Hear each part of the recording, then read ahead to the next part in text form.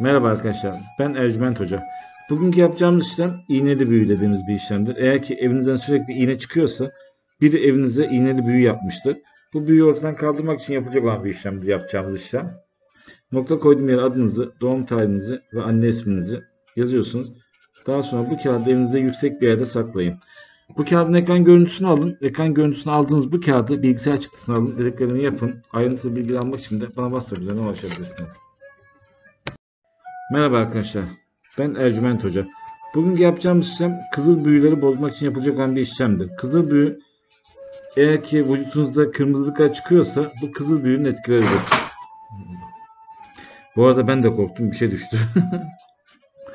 Şimdi nokta koyduğum yere adınızı, doğum tarihinizi ve anne isminizi yazıyorsunuz. Daha sonra bu kağıdı cüzdanınıza taşıyın. Dediklerimi yaparsanız kısa sürede etkiyi görürsünüz. Bu kağıdın ekran görüntüsünü alın, bilgisayar çıktısını alın ve dediklerimi yapın. Ayrıntılı bilgi almak için de bana WhatsApp üzerinden ulaşabilirsiniz.